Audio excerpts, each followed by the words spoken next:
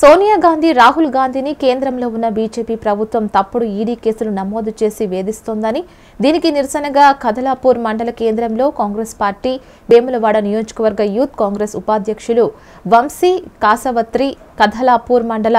NSUI అధ్యక్షుడు ఆకుల సంతోష్ ఆధ్వర్యంలో రోడ్డుపైన బైఠాయించి నిరసన తెలియజేశారు. అనంతరం ప్రధానమంత్రి దిష్టి బొమ్మను దహనం చేశారు.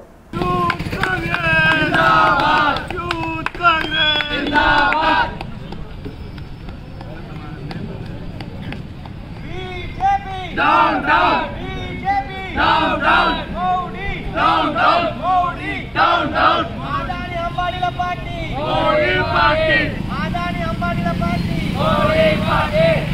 ఈడీ కేసులు వెంటనే ఉపసంహరించుకోవాలి ఈడీ కేసులు వెంటనే ఉపసంహరించుకోవాలి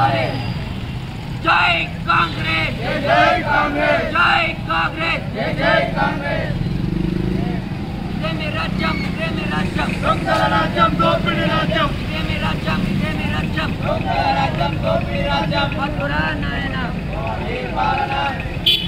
జై కాంగ్రెస్ జై కాంగ్రెస్